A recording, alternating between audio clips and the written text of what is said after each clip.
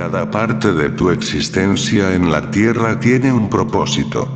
Tu vida está enfocada en un solo objetivo, resolver el karma que proviene de energías incompletas y densas que quedaron atrapadas en la rejilla de la Tierra debido a traumas del pasado. Es necesario que todas las personas que crean estas energías las traigan de vuelta a un estado divino.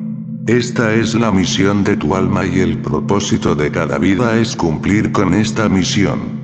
Por lo tanto, todas tus elecciones de vida giran en torno a la elección de liberar la energía o repetirla, crear una barrera o perseguirla. No existe una forma correcta o incorrecta de tomar estas elecciones, y tampoco hay una elección correcta o incorrecta. La elección de liberar la energía no es mejor que la elección de repetirla, simplemente indica que el aprendizaje aún no ha sido completado en esta situación y que se necesita otro ciclo de energía. Lo mismo sucede con el cierre o la continuación.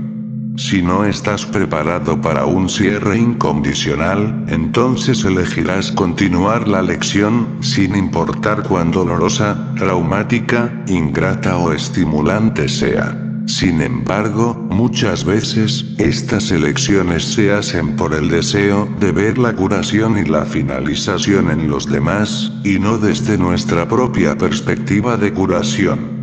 Podemos sanar si notamos que otras personas involucradas en nuestro ciclo kármico y grupo de almas no lo son, si bien podemos creer que nuestra vida tiene el propósito de sanar a otros, en realidad, el propósito es curarnos a nosotros mismos, liberando las energías densas creadas por el trauma del alma, perdonándonos a nosotros mismos y creando una barrera en todos los caminos tridimensionales. Lo que los demás elijan hacer con su misión, propósito y energía no influye en nuestra propia curación, a menos que lo permitamos.